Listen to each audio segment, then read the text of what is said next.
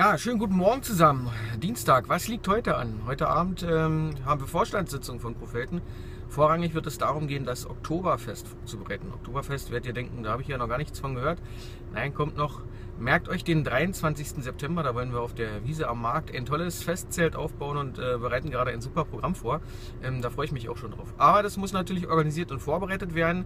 Das machen wir heute Abend gemeinsam äh, im Bürgerstübchen. Vorher heißt es natürlich wieder ab zur Arbeit und ähm, ja, am Nachmittag vielleicht noch den ein oder anderen Flyer verteilen, das ein oder andere Gespräch führen. Denkt dran, wenn ihr Fragen habt, ihr könnt mir gerne Nachrichten schicken ähm, oder aber ihr kommt zu unseren Infoständen, da werden wir ja auch noch einige durchführen. Die Termine findet ihr auch auf meiner Seite oder wir haben sie schon angekündigt. Ansonsten äh, lege ich euch auch ans Herz Donnerstag, 19 Uhr Bürgerstübchen, die Veranstaltung unter dem Motto, was will der überhaupt? Da stelle ich mich und meine Ideen nochmal vor und da hat jeder die Möglichkeit, äh, Fragen zu stellen. Also ich freue mich drauf, ich hoffe, wir sehen uns Donnerstag.